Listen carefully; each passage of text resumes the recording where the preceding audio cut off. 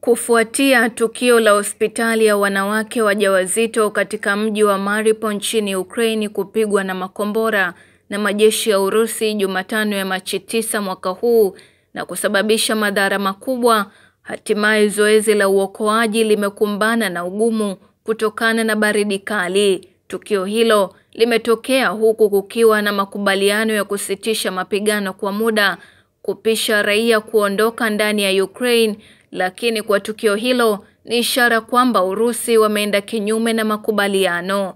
Vikosi vya Ukraine vinakabiliwa na wakati mgumu kutokana na hali ya hewa ya baridi kali, huku kukiwa na hofu kuwa majeruhi wanaweza kuganda mpaka kufa kutokana na jengo lote kuharibika vibaya, huku vifusi kuwakandamiza wahanga.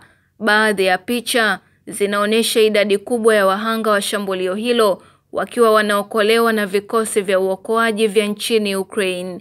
Baadhi ya picha za video zinaonyesha wauguzi, manesi wakiwa wanapatiwa matibabu huku manusura kina mama wajawazito wakibebwa kwenye machela.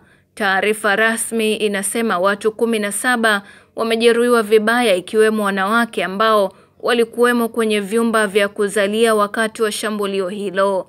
Rais wa Ukraine Zelensky amesema watoto wengi wamefunikwa na vifusi na kwamba kitendo cha shambulizi hilo la mabomu kutoka Urusi ni kiashiria rasmi kwa mauaji ya kikatili huku akiomba jumuiya ya Ulaya kuingilia kati mgogoro huo ambapo kwa sasa wananchi wa Mariupol wanazika miili ya watu katika makaburi ya pamoja.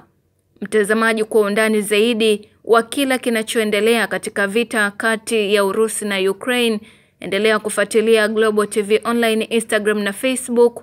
Tunatumia Global Publishers, Twitter ni Global Habari. Mimi naitwa Chuma.